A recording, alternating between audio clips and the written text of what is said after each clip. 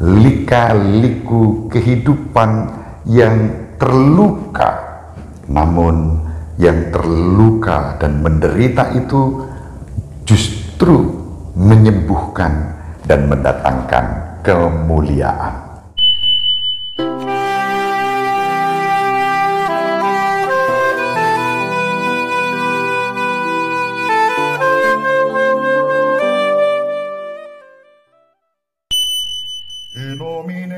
Patris et Filii et Spiritus Sancti.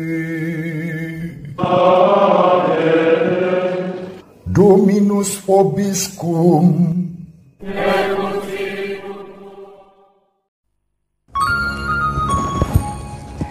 Sahabat peradaban kasih ekologis yang terkasih, selamat berjumpa dalam renungan harian bersama saya melalui channel ini. Semoga panjenengan selalu sehat, tetap semangat dan bahagia. Kebahagiaan yang bersumber dari Tuhan Allah kita yang maha pengasih dan penyayang bagi kita semua. Mari kita awali perjumpaan kita dengan bersatu di dalam doa. Kita pergunakan Mazmur tanggapan pada hari ini sebagai doa dan juga bahan permenungan kita, yakni Mazmur 105 ayat 16 sampai 17, 18 dan 19, 20 dan 21. Ingatlah perbuatan-perbuatan ajaib yang dilakukan Tuhan. Ketika Tuhan mendatangkan kelaparan ke atas tanah Kanaan dan menghancurkan seluruh persediaan makanan, diutusnyalah seorang mendahului mereka, yakni Yusuf yang dijual menjadi budak. Kakinya diborgol dengan belenggu, lehernya dirantai dengan besi, sampai terpenuhinya nubuatnya dan firman Tuhan membenarkan dia. Raja menyuruh melepaskan dia, penguasa para bangsa membebaskannya, dijadikannya dia tuan atas istananya dan pengelola segala harta kepunyaannya. Kemuliaan kepada Bapa dan Putra dan Roh Kudus, seperti pada permulaan, sekarang selalu, dan sepanjang segala abad. Amin. Sahabat peradaban kasih ekologis yang terkasih, Mazmur tanggapan hari ini mengajak kita untuk melihat perbuatan-perbuatan ajaib yang dikerjakan Tuhan di dalam hidup kita sebagai bagian dari sejarah keselamatan.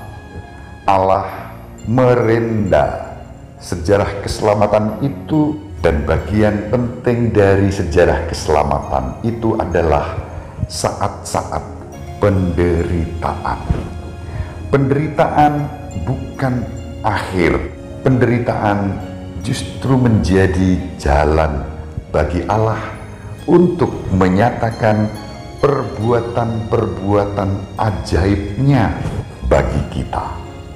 Itu yang dikenang oleh pemazmur dan pemazmur mengajak kita mengenang pengalaman sejarah keselamatan yang direnda oleh Allah melalui kehidupan Yusuf putra Yakub.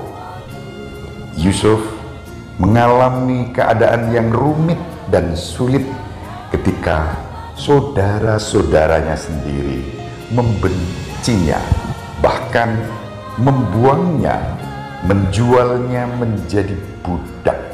Dan Yusuf dibawa ke Mesir, dipakai oleh Allah untuk mempersiapkan sejarah keselamatan yang dahsyat. Yusuf yang oleh saudara-saudaranya begitu dibenci, yang dibuang dan dijual, bahkan kepada ayahnya, saudara-saudaranya mengatakan bahwa Yusuf mati diterkam binatang buas. Namun kenyataannya Allah mengubah sejarah itu. Penderitaan yang dialami oleh Yusuf diubah menjadi jalan keselamatan bukan hanya bagi Yusuf, tetapi juga bagi saudara-saudara yang membencinya. Dalam kisah kita hafal Yusuf sebagaimana disebut di dalam Mazmur tanggapan tadi. Dia yang semula diborgol, dibelenggu, dirantai, dijual sebagai budak, diubah oleh Allah dengan disposisi yang sama sekali baru. Dia dipilih menjadi pengelola kesejahteraan ketika terjadi kelaparan di negeri itu. Kelaparan yang menimpa negeri itu membuat pada akhirnya Yusuf dipertemukan dengan saudara-saudaranya dengan ayahnya Yakub. Inilah seperti sejarah keselamatan Allah mengubah penderitaan menjadi kemuliaan. Selama masa prapaskah ini kita merenungkan penderitaan Kristus. Namun bukan penderitaan itu sendiri yang menjadi fokus, melainkan buah-buah penderitaan, yakni keselamatan dan kemuliaan. Kristus yang bangkit memang tidak bisa dilepaskan dari salib dan penderitaan. Tidak bisa dipisahkan dari penderitaan dan salib.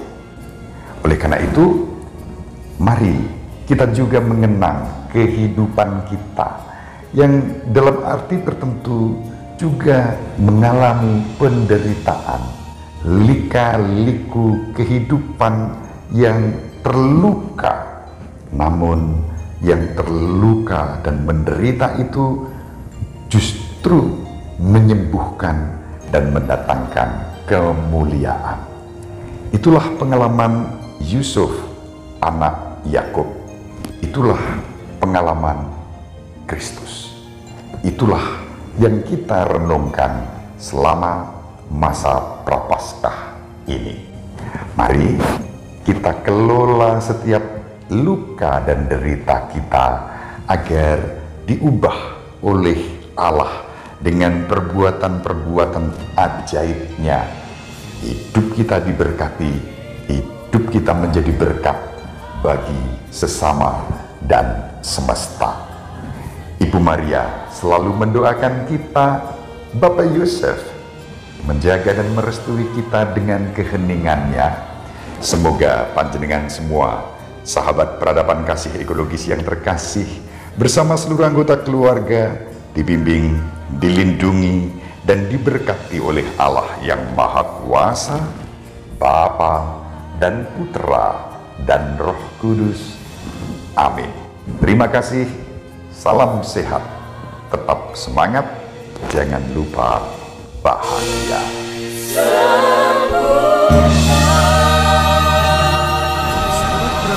kasih yang terkasih, sampai jumpa pada episode berikutnya.